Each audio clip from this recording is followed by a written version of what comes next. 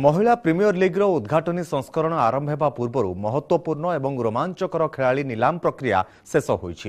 ଯାହାକୁ ନେଇ ଖୁସି ପ୍ରକାଶ କରିଛନ୍ତି Mumbai Indians owner Nita Ambani.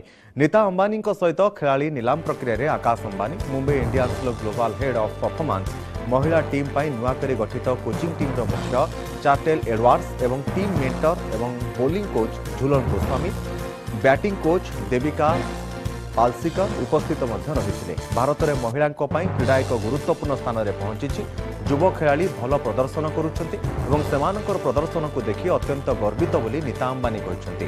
Reliance foundation ମହିଳା କ୍ରୀଡ଼ାବିତ୍ମାନଙ୍କର ଜଣେ ବଡ଼ ସମର୍ଥକ ପାଲଟିଛି। କେବଳ ଭାରତରେ ନୁହେଁ ଅନ୍ତର୍ଜାତୀୟ ସ୍ତରରେ ମଧ୍ୟ କ୍ରୀଡ଼ା ଏବଂ କ୍ରିକେଟରେ ମହିଳାମାନଙ୍କୁ ସମର୍ଥନ ଦେବା ଓ ପ୍ରୋତ୍ସାହିତ କରିବାରେ ଆମେ ସମର୍ଥ ହୋଇପାରିଥିବାରୁ ଏହା ଆମ ପାଇଁ ଏକ ଗର୍ବର ବିଷୟ ପାଲଟିଛି ବୋଲି ସେ କହିଛନ୍ତି।